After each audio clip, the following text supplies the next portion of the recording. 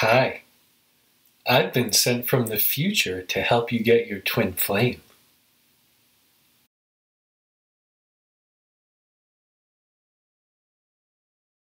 Future you wanted me to tell you to cut the shit and start healing your blocks and upsets so that you can propel yourself forward into union on your journey. Because future you is really getting tired of seeing all this complaining and believing in stuff that just isn't real. Those uh, future beings are pretty smart individuals, eh? So, what changes need to be made in order for you to get there? In order for you to get into union, what are some changes that you need to make in your life in order for that to, to occur? So many so many people are just like stuck or not really sure what to do. They don't know whether to do A, B, or C, which road to take.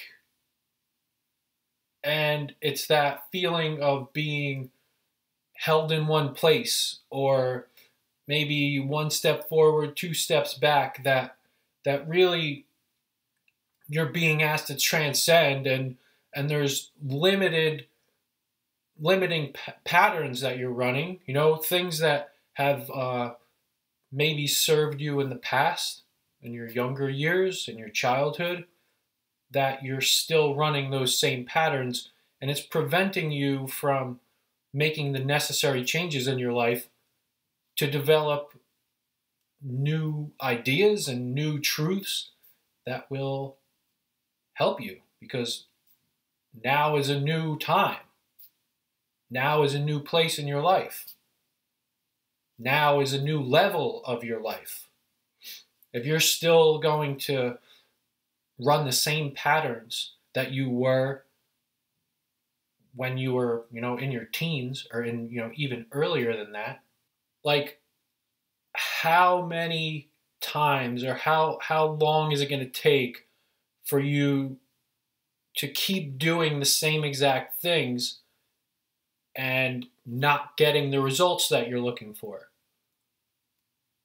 If you want a, if you want a particular result or you want a certain result and you're not getting it by the way that you're going about it now, then clearly something needs to change. And that's that's the big picture is that what are you going to change in order to have this union, have true love because from where you're at, it's not going to happen. But from a place of uh, great change and great inner awareness, it absolutely happens. So, what is your choice? What are you going to choose? What are you going to change within yourself? There's certain behaviors that you are carrying with you over the course of your life, over the duration of of of your life, and it's not serving you. You know, like you can to the to an extreme case, you can uh, remember when you were a kid and you're like tugging on your mom's sleeve, like, "Ma, I want a freaking ice cream cone," and your mother was like, "What? A, you know, here, just like stop." And so you you uh, you equated this to like doing this behavior got you what you wanted.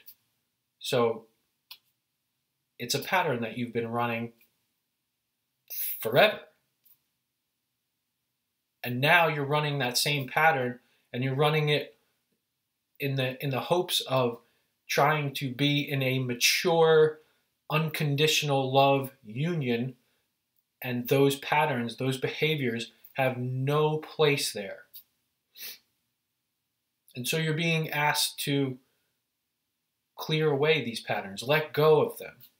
You're asked to make a make a different decision, a different choice there, a, a more mature choice, something that will serve you and will serve a union and a mature relationship. Yes, please stop doing that. I'm asking nicely. You can have this. It is for you. You can have your twin flame. You can have your twin flame union in this lifetime. It starts with you. It starts with your willingness to make necessary changes in your life in order to have it. And these aren't bad changes. You're not being asked to sacrifice anything. These are changes that are going to be amazing for you. You're being asked to change because that's what love is requiring you to do. There's nothing that love is requiring you to do that is going to be hurtful to you or negative to you, negatively impact you at all. So go down below, check out the links to my website. There's so much information on there. The mirror exercise is on there, uh, which is a critical tool to learn and clearing away your blocks and upsets.